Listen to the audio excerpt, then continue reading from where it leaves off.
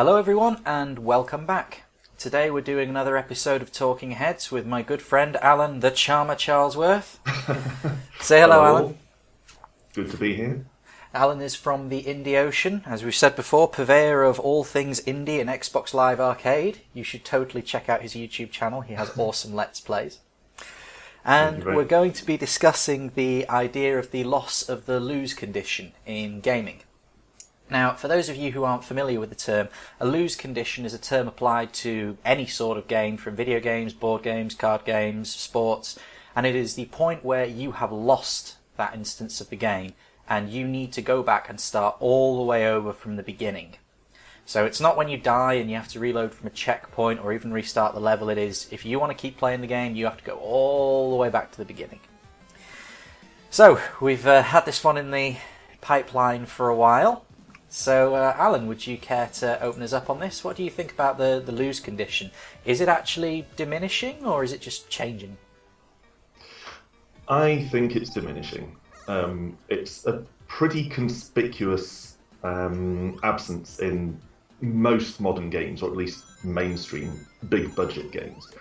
And um, I think it's to do with the evolution of the form, if I may deploy such a pretentious term. Um, You may. uh, I think it's connected to the way that games now are much more narrative driven and are, are much more story based than they were traditionally. Um, I think the, the lose condition is something of an archaism and thus it's fading out. Whether that's a good thing or not is a matter more for debate, but I think it is Yeah. deteriorating as an inevitable side effect of the way games are changing now. Well, I'm glad you brought that up because that um, leads me quite nicely into my first point, which is that the the lose condition is based quite a lot around the idea of save games, and the idea that if you lose the game, what would previously been a lose condition still says game over and it boots you back to the main menu, but you can then just reload a save Yeah. and um, that kind of also ties in with a little pet peeve that I have with video games these days, which is the fact that they still use save points in some genres. The JRPG is hell for this, and it, it just very it very much annoys me because they were introduced as a limitation of the uh, hardware at the time. If you wanted to preserve the game at a certain state, a save point allowed them to assume certain things and go on from there. It was all very technical. But uh, that was the basic thrust of it, and that I think, in many regards, the creation of save games started the decline of the lose condition. And that, I think, leads to another interesting point, which is what we're seeing nowadays, which is almost a replacement for the lose condition, which is the Iron Man mode. I mean, uh, my viewers will know that I do a lot of stuff on Paradox games, and one of their big things at the moment is the Iron Man mode, where you have one save which updates frequently, so you can't just go back and reload if you hit a bad condition or a lose condition. And uh, I think it, that's an interesting point to raise that. And the other one is, as you say, with narrative-driven games. Can you imagine playing an Elder Scrolls game for 90 hours and you accidentally wander off a cliff and die? and then that's it 90 hours of progress gone. Yeah, indeed. Um, some games just don't lend themselves to it, and this is something that we didn't see back in the days when a lose condition was actually a thing, a ubiquitous thing. Um, because I think it originated really with arcades back in the 80s up to maybe early 90s, but definitely the 80s, um, when games were still very much derived from the arcade format, where having a set number of lives is there to get you putting coins into the machine, basically. It's not entirely dissimilar to some of the free to play models now to keep a drip feed of money coming in from the player, just instead of you know being over the course of weeks or months as it is now. It was you know 20 minutes in the arcade. Um, but I think as as games have completely changed and become a longer term sort of home entertainment, that kind of format has just completely gone out of the window. And that's a good thing, as you say, putting dozens of hours into a game to then have to start over when you accidentally cast the wrong spell on yourself would be absolutely wretched.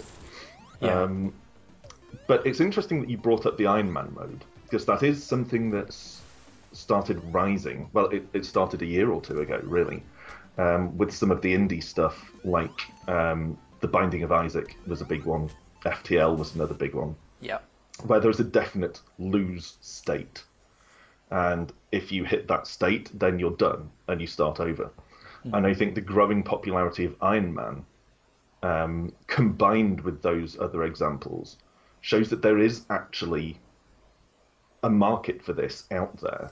And for me, that's one of the big arguments in favour of um, trying to reinstate the lose condition in games, I suppose.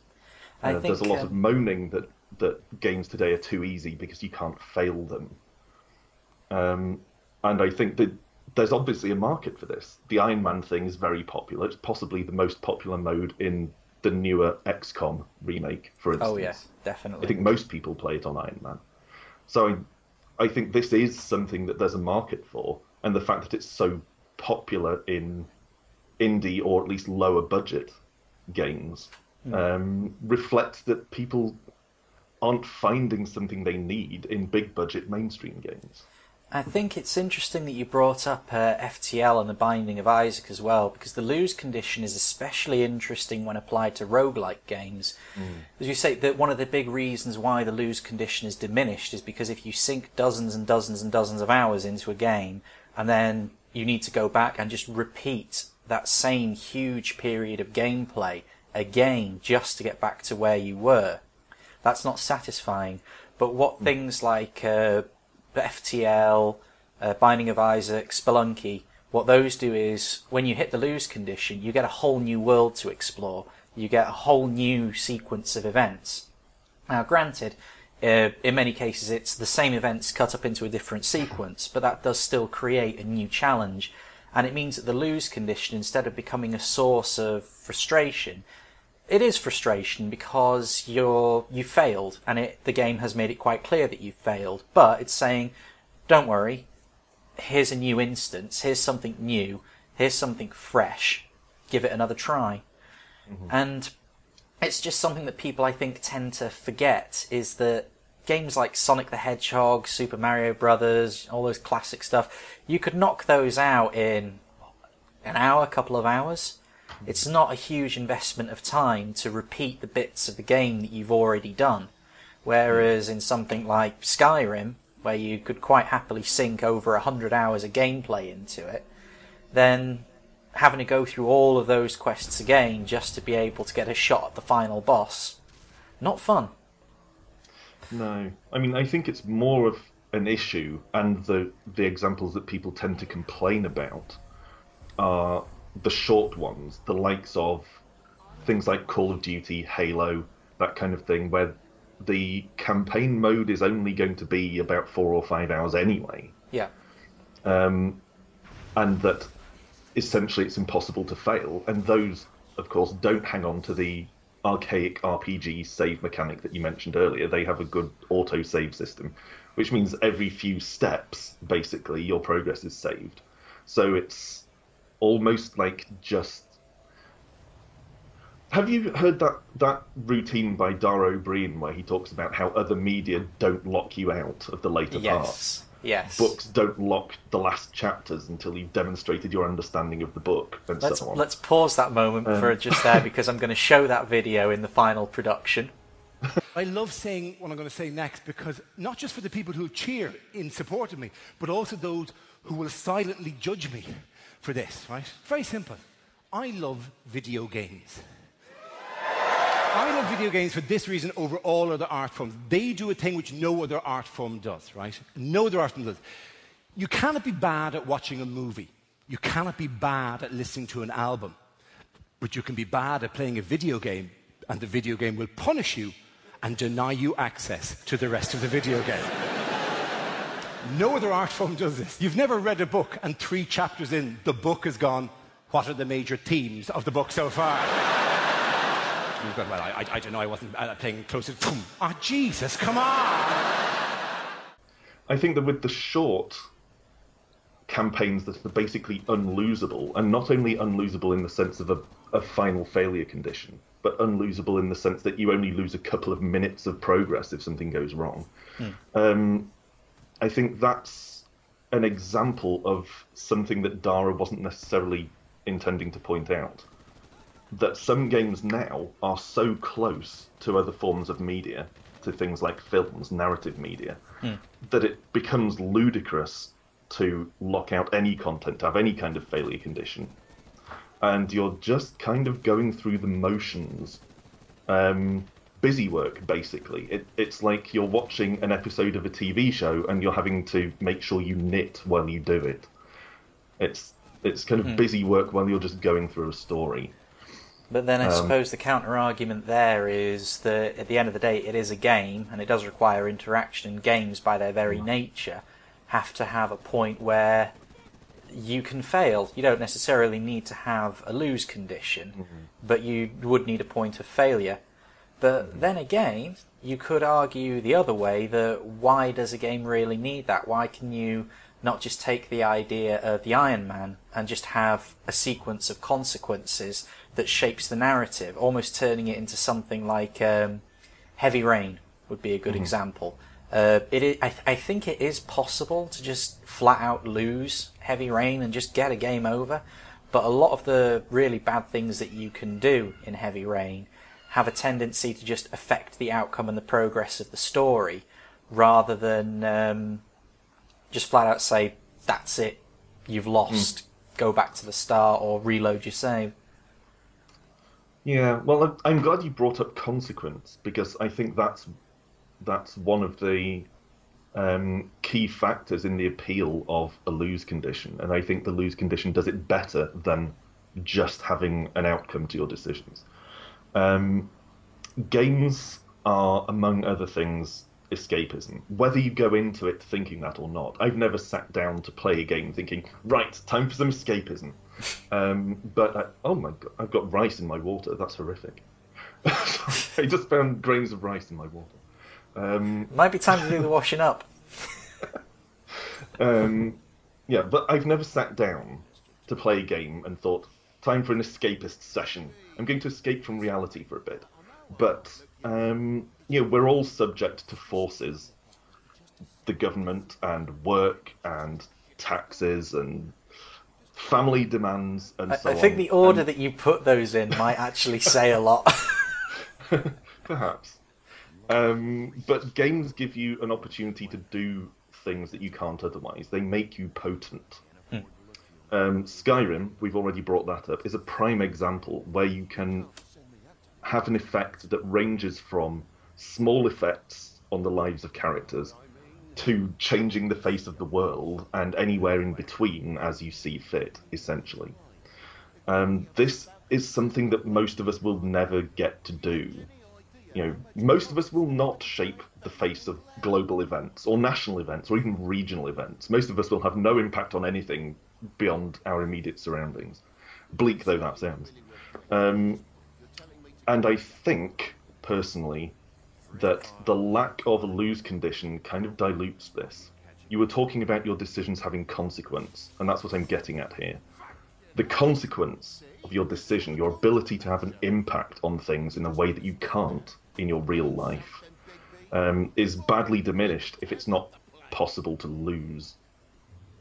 Because your decisions and your actions don't have weight anymore. You can pretend they do, but if it's not possible for you to fail, for you to cock things up so completely irrevocably that everything is an irredeemable mess, and you're dead and everything is all over, there's there's no weight, and Yeah. this escapism just deteriorates and fizzles out. I've been watching um, Star Trek TNG, and there's actually a couple of episodes revolving around that principle. Uh, chief one, I think, being where uh, Riker is given the power of Q, and he just turns around to all of the crew members and says, "Right, you know, I'll, I'll give you anything you want, absolutely anything you want." And they just turn around and say, "Well, no.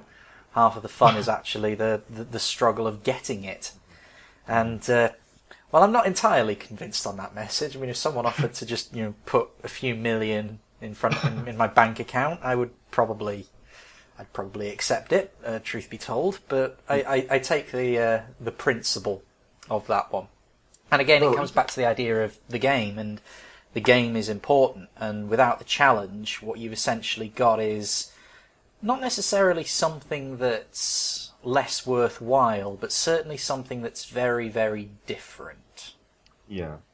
I mean, I, I mentioned um, an increasing sort of confluence of TV and games in a sense, where it's becoming a visual storytelling medium, or some types of games are. And I don't mean to imply that that's inferior entertainment. Um, that you, you can sit and have an enjoyable experience um, watching and having some minimal interaction with a game in inverted commas. Um, but you don't get, as you said, satisfaction, achievement, some sense of having worked for something. I mean, as an example, if you've played through a game that's kind of unfailable, there's no real lose condition. You've just been, you know, gradually progressing. You get to the end. You don't go, I finished that. I feel fantastic. You get the same thing as when you've just watched a film that you've been meaning to watch for a while. You might go, I enjoyed that. That was good. Move on. You hmm. don't have that achievement and Yeah. sense of progress. You have the And satisfaction of a story well told, but not the satisfaction of a challenge overcome. Exactly. Unless the movie you were watching was Battlefield Earth. definitely a challenge overcome. Um, whether that's worthwhile is a different matter. And I believe Battlefield Earth can cause permadeath. Um, but um, there's. I want to point out that this this idea of um, achievement and progress is something that is, I think, to an extent, being manufactured in a lot of games that don't have a conventional lose condition. Um, you get a lot of games that include you know level systems of one sort or another. You gain stats or you unlock equipment as you go along. You acquire skills. Even multiplayer centric games have the, the popular sort of unlocking things as you go along get more kit hmm. as you play the game and my feeling is that this is an artificial an artificial sense of progress. You're not getting a sense of progress or getting better at anything or achievement from experiencing the game. So the game has to give you it. If you're Yeah. playing a game with a permanent lose condition, then you can get further or you can get to the same point more quickly, more efficiently, something of that nature. You can feel yourself getting better. Like when you're learning to drive, and after a few months, you go, I just drove to the next village and I don't even remember doing it. That's amazing. Six months ago, I couldn't even turn a corner. Now I'm You able you to drive so wasted that I can't even form memories. Exactly. Um, but there's that tangible sense of progress. And I think that a lot of games are having to insert that by giving you markers to say, look, you've progressed. You've achieved. Here's a thing to show you you've progressed and achieved. Because you don't get it out of the game. Well, there's a, another particular genre and style of game that does uh, lend itself very well to the lose condition and does actually get much better for it. The survival horror genre. Um, with survival horror, the entire idea behind it is that you are surviving, you are in fear of your life, you are in a hostile situation. And when you die, if you're able to just simply respawn from a checkpoint a minute ago, that fear is considerably lessened. Now, obviously, you can compensate for that by um, good shot framing, good level design, good enemy design, well laid out control scheme. Resident Evil 4 does it quite interestingly with the control scheme where it's good enough that you can use it, but bad enough that it means that fights get a bit more tense. It's in that beautiful sort of butter zone. but um, especially with the earlier Resident Evils and the whole idea of save points and the limited times that you can use those save points with the typewriter ribbons, it basically it's almost having its cake and eating it in that you are able to save your progress of the game, but it overcomes the idea that it's completely nixing the lose condition. Okay, you have removed the lose condition, but you're not going to be losing, you know, a couple of minutes of progress if you die. unless you step out of the save room and immediately get ganked. But uh, you're still losing a considerable amount of progress. And I think that sort of hit a very, very, very happy point where you could lose, and losing did mean you had to replay sections of the game, but you weren't needing to replay the entire game, and you didn't need to go through the whole thing in one sitting. And the added bonus was that it meant that combat, as you said, did have weight and did have consequences, and it had actual weight and consequences, because if you failed, well, that was it. You actually did have a penalty for doing so. And um, one of the things about the utterly, utterly abysmal Resident Evil 6, uh, which really you can't say enough bad things about that game, is that it had save points every two or three minutes, and it combined that with. A, you know, utterly terrible everything. The, the, there was nothing that game did right. Nothing. I, I could rant about that game for half an hour in and of itself, but it just I- took I so much it. away. Never played it. Probably for the best. It really is. Uh, that that oh god, no, I, I don't I don't want to talk about it. Otherwise, I'm not going to stop. I, I've, But- I've heard many of your rants before. We don't want to open that door. Yes, there's no there's no stuffing that particular genie back in the bottle.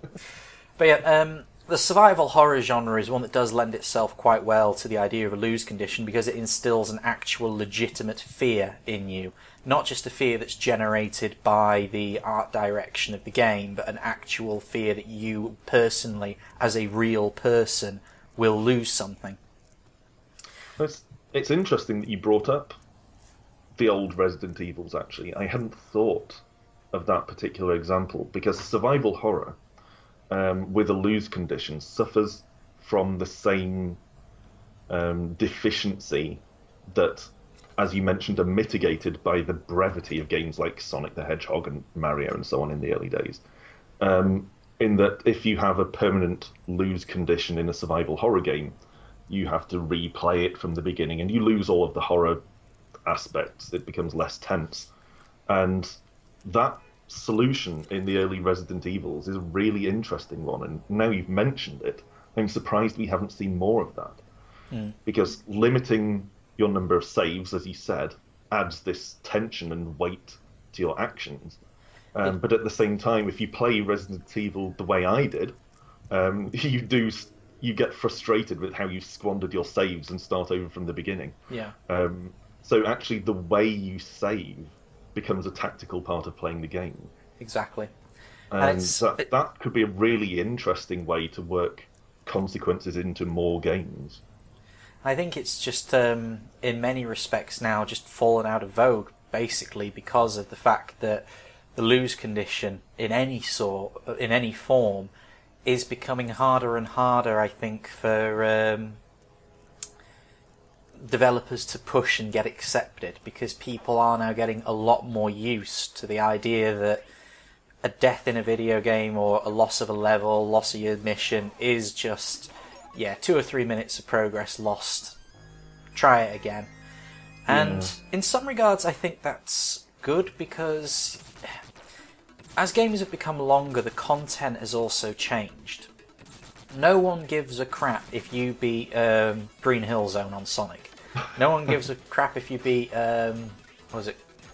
Uh, Aqua Labyrinth, Crystal Labyrinth. What was the one that was near the end of Sonic One? Oh yeah, um, You know the one I mean, Yes. one that was mostly underwater. No one gives a crap if you say that you can beat that specific level. People get impressed when you say you got that far, and if you can say you can complete the whole game, people get impressed. But there are very few um, specific instances in that game where people will actually give you kudos for getting that far. Now, with modern games, it's less that the entire game is a package, but more that you have points within it, if that makes sense. I'm not explaining this very well. Um, it's a, it's like a theme park. It's a sequence of rides, and you gain satisfaction and kudos from completing certain parts and certain sections because there is so much content. And in many regards, to again come back to the idea of the Elder Scrolls games, the main story arc, in which you quote unquote complete the game, is just one of those rides in that theme park. Whereas with the old games, the whole game itself was one ride. The goal, the objective was to just complete that game. And consequently, having the lose conditions being what they were in those games, no more lives, no more continues, was conducive to actually having the whole game as the point, as the ride. Whereas with games these days, it's built around multiple smaller chunks of your time being spent, some of which are equivalent in length or even greater than length to a whole playthrough of Sonic on the Mega Drive. Um, the guild quests in Oblivion. I know that a lot of people like to, to bash on a, on Oblivion. Uh, personally, it's it's my favourite game, but well, out the TES games anyway. But um, I don't say that too often because people people try to kill me if I do that. But um, the, you can't fault the guild quests for the sheer epicness and um, sense of scale and achievement you get from them because it's literally hours and hours and hours of gameplay and working your way up through the ranks and doing all these different things. Whereas with Skyrim's guild quests, hey, first quest, you turn up on the doorstep. Quest five, congratulations, you're an archmage. um, so, in order to actually facilitate that sort of structure to the gameplay, you need those save points, and you can't have a lose condition. You could have a lose condition within the individual quests, within the individual blocks, but you can't put a lose condition on that entire playthrough as a whole. Yes, I, I can see your point. Um, it's making me think of Morrowind since we're going down the Elder Scrolls route. Um, because I, I was just thinking about one of the guild quests in Oblivion, um, but um, even though it's about 10 years old at this point, I'm not going to spoil it for people who may still not have played it. Which one are we Uh, talking I about here? that. Which guild? Which guild quest? Um, the Brotherhood. Oh, yeah, Um, the best one. But yeah, uh, but there was a point. Um, actually, there was a similar moment in Skyrim. Come to think of it, um, a point where I was trying to get somewhere in a hurry because an event was occurring that was urgent, um, and I, I was making it tense myself by role playing it Yeah. in the sense where I thought this this should be a tense scene. I could just quick travel to near there and then hop down the hill and I'll be there. But Yep. I want to make this scene tense. I'm going to run cross country until I get there. And the tension, I had to insert my own tension because there was no way to fail that. I, I could have spent five hours going there and it, it would have been fine. Um, but it makes me think of Morrowind because that was the Elder Scrolls that I played first, and I was playing one of the expansions, the Bloodmoon expansion that takes you to Solstheim originally, and um, I accidentally killed a quest-centric person, and that was that. He was dead. Um, you can just bump off anyone, anyone in Morrowind, Yeah. and if they're part of a quest, then that quest is buggered. Wait, you can that. even kill some of the quest givers from the main quest line, can't you? And that's it. You Yeah. can never actually complete the main quest Yeah, line. there, there's there's actually a message. If you kill someone who's integral to the main quest, it pops up and says something like "You've broken the chain of destiny, and the world is going to fall into hell," or something. Um, Yeah. But it allows you to do it. Okay. This, this has its drawbacks because obviously having put something like 150 hours into Morrowind at the point where I made that mistake, and then accidentally saving over my save game instead of loading it, Oh! I, I, I was enormously infuriated. Ladies and gentlemen, if there was any any argument that we that the, lose condition could possibly be considered something that we can stand to get rid of, that was it. that was it. We might as well end this here because 150 hours of gameplay down the toilet because you clicked save instead of load is no. Oh my god. I've, I've never recovered. I've never managed to make myself go through all that again to get back to that point in that quest Oh and see it through to the end. That reminds me of a funny little place, funny little um, incident that I had on Metro Last Light, which I was doing another playthrough of recently. There's a quest critical uh, NPC being held hostage by a guard, so I'm creeping up behind the guard and I think, right, uh, I'm just going to take a throwing knife and chuck it in his back and all will be well. Missed him, hit the hostage. Unfortunately, because the hostage is plot critical, he wouldn't die. So uh, I threw a second throwing knife quite quickly, which hit the guard. And I go up, and then this guy's talking to me with a bloody great big throwing knife sticking out of his cheek. Nothing has happened. Completely unfazed by this turn of events. Yeah, it was. It was actually quite. I've got a few screenshots of it. Actually, I'll have to put them up with the video. But, um, but- has the lose? Con- do you think the lose, the loss of the lose condition? Because I, I think we can agree that the lose condition is diminishing. yeah. Um, I think that it's it's finding its niche, as you said earlier, in indie games and in other games, but it's still certainly been on the downswing from what it was. And I think we can kind of also agree that it was sort of necessary for this to happen in order for games to become what they are today and be as long as they are today and have the design that they do today. Is, can, is, is that fair to say? Or Yeah, I think so. And I think it's before we sort of write the lose condition off as as completely dead or mostly dead. He's only mostly dead. As a reference. Um, for people who get that. Um, mostly dead is still slightly alive. Um, I, I think it's it's important important to observe that games where a lose condition or something approximating a lose condition fit naturally are still out there. Um, what's coming to mind right now, just because I've played it recently, is Crusader Kings 2, where there's it's hard to reach the lose condition. Um, I've actually never done it. From what I understand, it's basically if your entire dynastic line is wiped out, It has to be done. your specific bloodline memory Yeah. Yeah.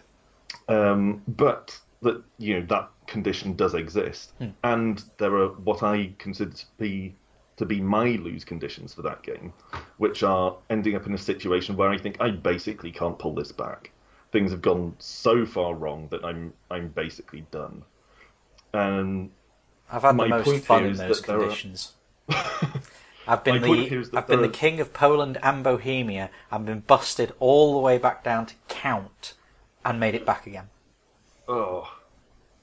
Um, but my point is that there are types of games, styles of games, where um, a lose condition, or at least a serious consequence, debilitating consequence condition, is so naturally a part of the type of game that it doesn't need to be imposed in this slightly artificial, mechanical way that is traditional. Where we say you you've expended your chances, you're done. Um, where it's just in the nature of the game. So we're not we haven't completely lost it. In places where it's natural and logical, it's still there. And it's uh, even in places where it is forced. Uh, you brought up earlier the XCOM remake, and that has a lose condition, which I think is eight countries leave the XCOM project. Yeah, something like that. And like and it also has what you were saying earlier about a condition where basically it's so screwed you're never going to recover it which is usually you had a really bad mission you've lost all of your experienced squad members but the higher tier aliens have started appearing so your rookies are not going to be up to the job Yeah. you might as well finish it up you're just uh, making it linger and the fact that that game was so hugely popular, the fact that a turn based strategy game was that popular warmed my heart. Um, let alone the fact that it was a turn based strategy game with a lose condition, with an Iron Man mode, and it was basically everything that people who complain about the loss of the lose condition wanted, and it was hugely popular. And I think maybe we might start seeing more games like that. Uh, Crusader Kings 2 um, ended up really, really popular for some reason. I mean, it was it wasn't huge. It wasn't you know bloody COD numbers or Sim City, but it was a much much bigger project than I think Paradox ever dreamed that it could turn into. And that, as you say, had that sort of lose condition and complexity. So it's certainly not dead, but it has diminished, I would say, and it has changed certainly. Now, I go ahead. Go ahead. Oh, right. Um, I just want to mention that um, I I think part of one thing we haven't touched on so far um, is the simple practicality of not having a lose condition in a lot of games. Um, there are so many releases now, games just coming out almost continuously, far, far more games released every year than anyone could hope to play. Yeah. There's no way anyone could play all of them. And I think it's become increasingly important um, from a player's point of view to be able to actually play some of them. In that you, you don't want to spend. I mean, there are exceptions like Skyrim, which are just gigantic, but you don't want to have to spend, um, you know, 50 hours playing and replaying and reattempting a game mostly when there are others that you want to play. Everyone wants to. You know, this new game's just come out. It's fantastic. Everyone loves it. I want to play it, but I'm still trying to slog through this other thing. And there are odd ones, um, really long games like Skyrim or the Iron Man type games like XCOM.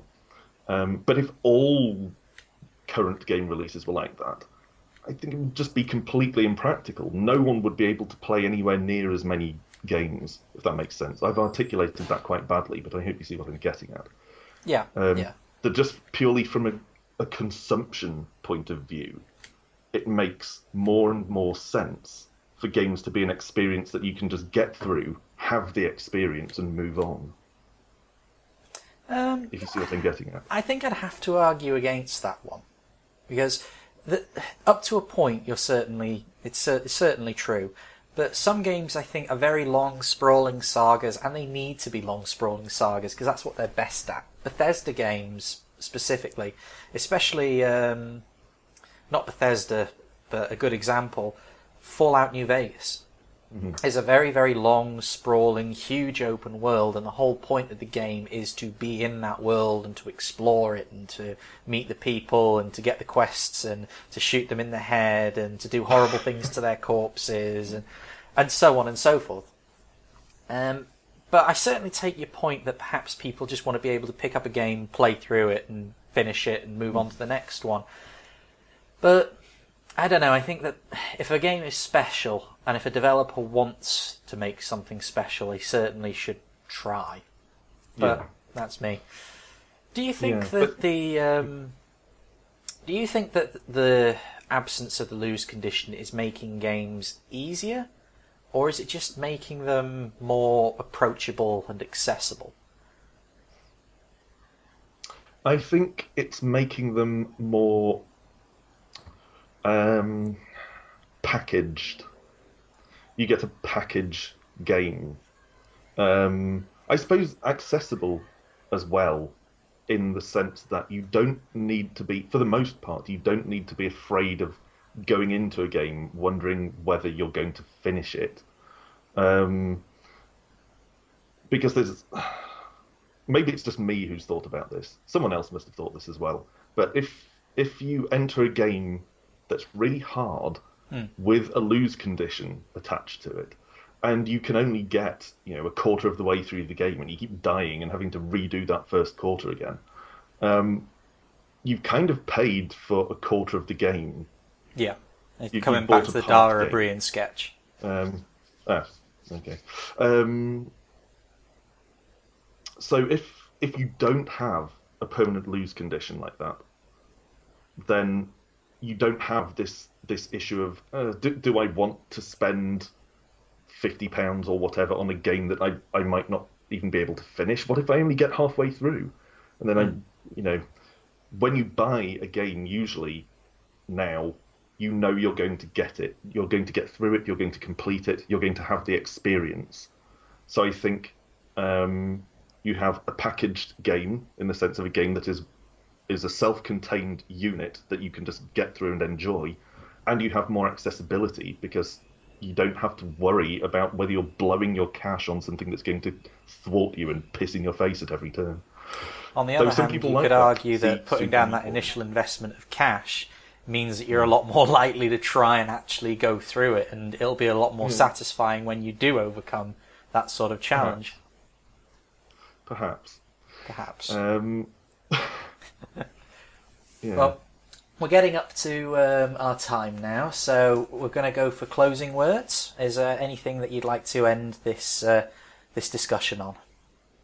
I'd like to end the discussion by um, indulging in a bit of my customary fence sitting, um, which is essentially that um, I, I've argued, I think we've both argued bits and pieces of both sides of the debate here, and um, I do, like many people, lament the loss of the lose condition um, to an extent, the the lack of consequence to some games, but at the same time, um, as I think you summed it up very well earlier. I think the deterioration of the lose condition has enabled games to become what they are now. And striking a balance between the types of games that would find a lose condition detrimental and the types of games where they're integrated and actually an enriching part of the experience. It, I think we can incorporate both of those, and that's probably the way we're going, Okay. um, consciously or otherwise. Well, uh, that's a very, very good little summary. And all I can say to to add to that is that I think that the lose condition still has its place. Survival horror games being a prime example of that, and a lot of very, very good indie titles make excellent use of the lose condition as a means of just changing the game and presenting a new experience, bypassing a lot of the frustrations. So, if there are people out there who do think that the um, diminishing the diminishing use of the lose condition is a bad thing, just remember that without it, we've been able to do a lot more with games. But I don't think it's even. I think we're putting the cart before the horse here. Games becoming what they have have necessitated the reduction of the lose condition. Removing the lose condition hasn't turned gaming into what it is today. It's a natural evolution of what gaming has become. And I think people need to accept that because, as we've discussed, if you apply a lose condition to so many of the games that we play these days, they wouldn't be fun anymore and they wouldn't work. But uh, Indeed. anyway, uh, I'm Evis T for Evis T TV signing off. Alan, last word. Um, thanks for having me, Evis. It's been a good discussion, as always. Food for thought. And I hope people will be comfortable to weigh in with their own thoughts on this discussion. Well, the comments section is below for those of you who want to. We'll see you all soon. Bye for now, guys.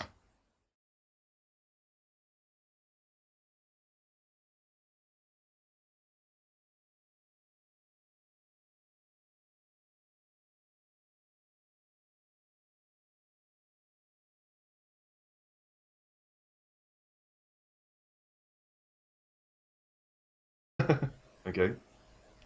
Um, And then carry on. oh, okay. Hang on, let me gather my thoughts there. I've lost the Yeah, no of problem. I'm editing this bit out anyway. Okay. Um, You were talking What was I about talking uh, about? games locking book games and books. Books don't lock you out of the final chapter. oh yeah. Okay. Yeah. Okay.